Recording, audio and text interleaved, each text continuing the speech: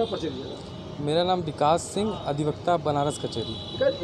Restaurant में video viral हुआ था गोलू जी का। क्या है मामला? विगत दिनों हाईवे इन बाईपास पे प्रवीण कुमार मिश्रा के द्वारा गोली चलाई गई थी जिसकी प्रथम जमानत पत्र आज एडीजे सेकंड में दाखिल हुई जिसका विरोध मैंने किया है और माननीय न्यायालय द्वारा विभिन्न मुकदमों की लिस्ट के आधार एवं सबूतों को ध्यान में रखते हुए उनकी बेल को खारिज की गई।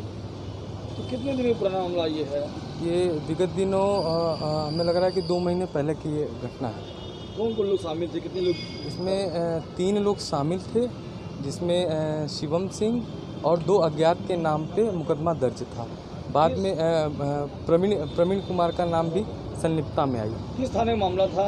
थाना रोहनिया का मामला। था और कौन कौन धाराएँ लगा था? इसमें 307 की धाराएँ लगी थी जिसमें खोखा बरामद हुआ।